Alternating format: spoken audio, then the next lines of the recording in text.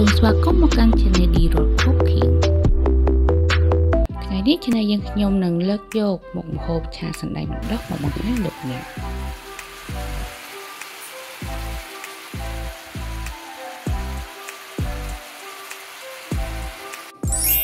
គ្រឿងផ្សំមានសណ្តែកបណ្ដុះដើមកញ្ឆាយស្លឹកខ្ទឹមសាច់ជ្រូកឈាមជ្រូកតៅហ៊ូ ស្ករសអំបិលប៊ីចេងប្រេងខ្យងម្រេចខ្ទឹមសចិញ្ច្រាំ និងប្រេងសណ្ដែក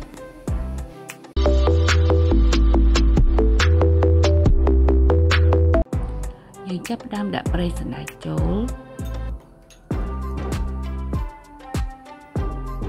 ចាបន្តមកដាក់ខ្ទឹមសចាយើងឆាខ្ទឹមសឲ្យឈ្ងុយឡើងក្រហម ពេលខ្ទឹមក្រហមហើយយើងចាប់ផ្ដើមដាក់ជ្រូកចូលចាយើងឆាចុះឆាឡើងឲ្យជ្រូកឆ្អិន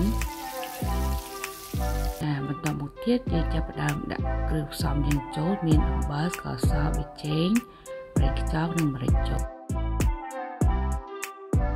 ចាយើងឆាសាច់ជ្រូកនិងគ្រឿងយើងឲ្យចូលជាតិគ្នាបានល្អ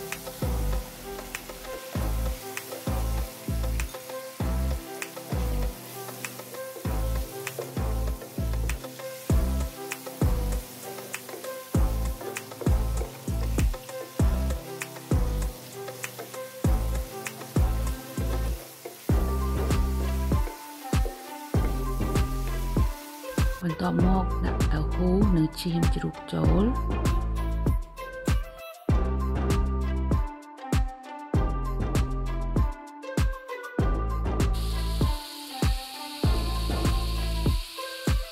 បន្ទាប់មកយើងចាប់ផ្ដើមដាក់ដើមកញ្ឆាយនិងគល់ខ្ទឹមចូល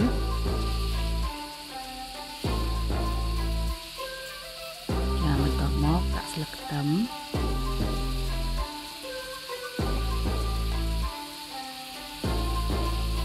យើងឆាឲ្យចូលជាតិបន្តិចទៅ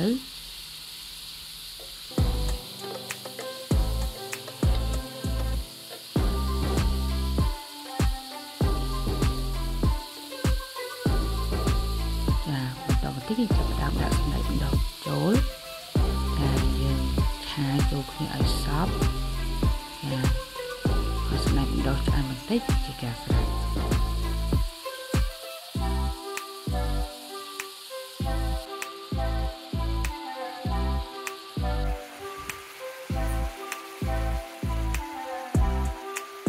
នៅពេលនេះឆាសណ្តែកបណ្ដោះរបស់យើងបានរួចរាល់